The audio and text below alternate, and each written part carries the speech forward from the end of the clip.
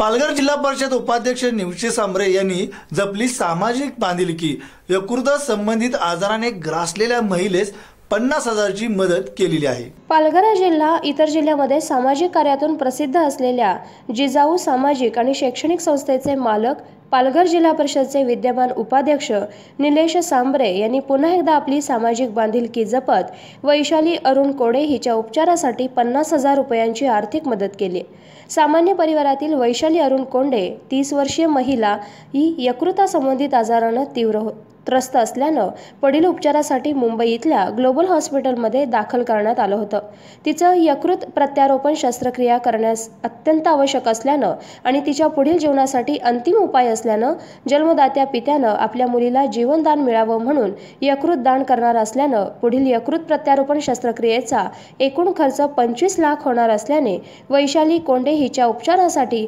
समाजसेवक निलेश सांबरे यांनी पन्नास हजार रुपयांचा धनादेश पुढारी पेपरचे पालघर जिल्हा bureau chief Mangesh Tawde Pudhari India TV आणि एस बी एन न्यूजचे पत्रकार विनायक पवार यांच्या हस्ते अरुण कोंडे यांच्या आईस देण्यात आलाय. Vinayak Pawar S B N Marathi news Palghar.